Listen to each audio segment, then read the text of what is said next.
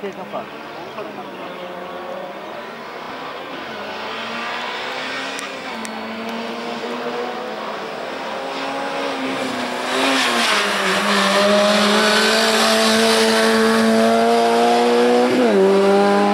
Grazie per la faccia, non mi faccio bene.